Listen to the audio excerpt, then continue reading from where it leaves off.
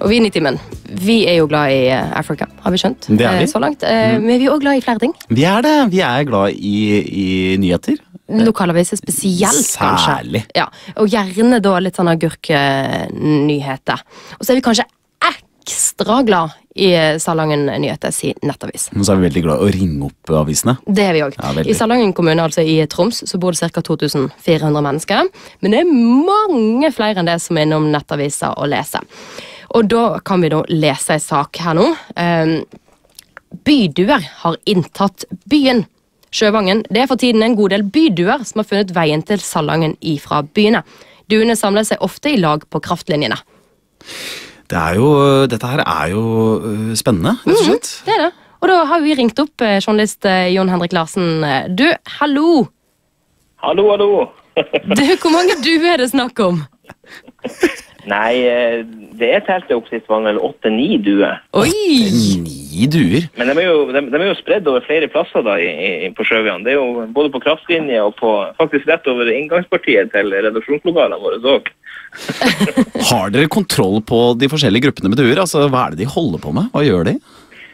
Eh, nei, de er jo egentlig litt som oss journalister. De er jo veldig nysgjerrige. Så det, det høres jo sånn ut når de sitter over inngangen her, så sier de jo kor, kor, kor, kor. Så det, de er jo litt nysgjerrige. Ja.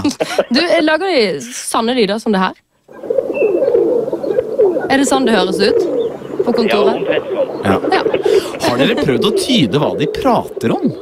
Altså, er det noe Nei, vi har dessverre ikke det. Vi har ikke noen fagfolk på feltet vi kjenner til som, som klarer å tyde det. Men eh, for å si det sånn, det høres ut som en stor flokk med damer som prater. Men du, du har skrevet en artikkel til Ja, det er gøy! Fortsett, Birte. Det var, det damegreiene var litt gøy. Oi, du, du har skrevet en sak til som vi har hengt oss litt opp i. Overskrifta er da altså 'Forlatt ute på gata'. Trusevin og fruktsmak. Ute ved eh, veggen til mikskiosken ligger det gjenglemte spor. På bakken ligger en flaske med teksten 'Med uimotståelig fruktsmak', og ved siden av ligger en truse. Hva har skjedd? Nei, nå er det jo litt sånn at vi har jo eh, nesten i Salangen-nyheter en- blitt en trend med å dra, lage rene påskemysterium i mange av våre saker. og der vi får innspill fra lærerne i all verden hva det som skjedde. Alt, alt fra vaktmesterbiler som står forlatt, til, eh, til båter som ligger på havet, til eh, folk som har mista sigarettsneipen på gata. Nei, altså, det her var rett og slett en, en, en sak som eh, dukka opp eh, i nærheten. Vi fikk tips om her, noen som hadde sett dette her og Oi! tipsa oss om det og ønska at vi skulle se nærmere på saken. Og som vi gjør, nysgjerrig som vi er, så stakk vi jo bort og fikk tatt et bilde av dette her da. Og så er det jo sånn at leserne våre de elsker disse sakene, så vi har fått inn uvante mange teorier på mail om hva dette her kan være. Ha, ha, Men vi har i hvert fall ikke funnet den skyldige enda som man, som har gått ut på trusa si.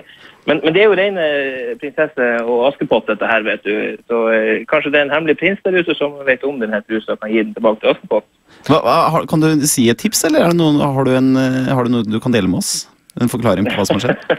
Nei, det, det er noen som snakker om at det har vært eh, litt eh, ungdommer som har vært ute på fantestreker her. Å, Det har også vært snakka om eh, litt russ, litt sånne ting, eh, som har eh, hatt det litt grann gøy. Det kanskje har vært en litt fuktig fest. Så det er mange teorier. Det er alltid fra at eh, russen har eh, mistet den, til at det er personer som dessverre har eh, sprunget, sprunget for fort forbi postkontoret og, og skulle inn og hente brevene og har rett og slett sprunget. Du, eh, mitt råtips her er at her er det lurt å trekke en, noen linjer mellom de duene og det siste funnet. Oi! Ikke sant? Man ofte, ofte har jo ting en sammenheng, vet du. Så jeg, mitt tips er at no, en av den, noen av disse duene, en duegjeng, har vært bak denne mikskiosken, hatt et lite party. Stjålet ei truse? Nei, en av duene mista trusa si. Å, det er duetruse? Mm, duetruse. Det er en duetruse.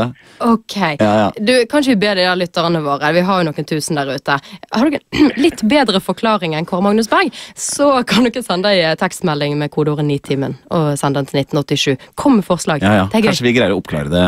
Og, og, så- og selvfølgelig må de gjerne komme med flere innspill til oss på, på Salangen Nyheter og gå innom siden våre og være med og løse dette mysteriet og sende mail til oss. For vi, som sagt, vi har utrolig mange lesere over hele Norge som, som leser oss, og som eh, har blitt veldig opptatt av akkurat. Og ikke sant, dere to i studio òg. Ja, Ikke sant? Du, sammen skal vi løse dette her, det er jeg helt sikker på. Du Gå inn på Facebook-sidene våre òg. Der, eh, der kan man òg legge inn sine forslag og lese selvfølgelig artikkelen som da handler om ei truse og en saft og vin og alt sammen. Jon Henrik, takk for at du var med oss. Eh, Du skal få Jahn Teigen i gave, du. Rett og slett. Takk skal du ha.